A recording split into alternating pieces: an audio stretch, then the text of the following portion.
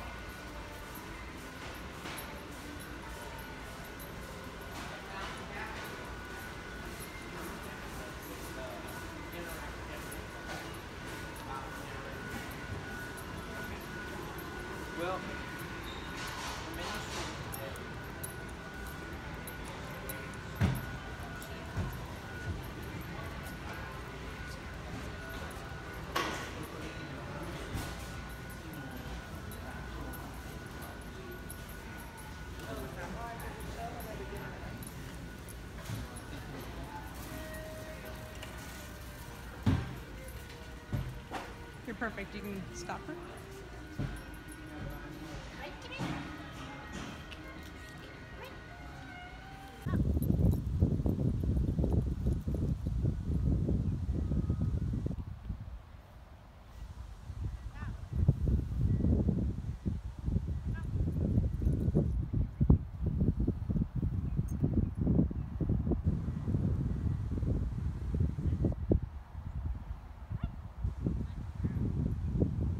Or an ask her for it. Um,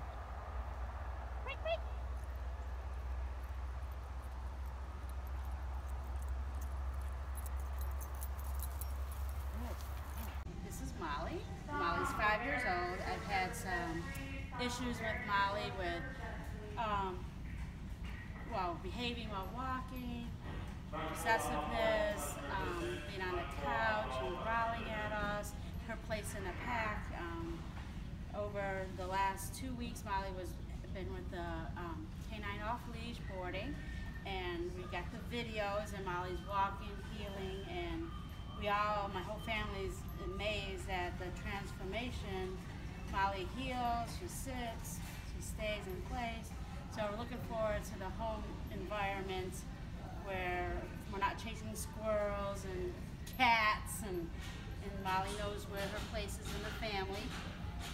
So I'm very happy, happy, happy.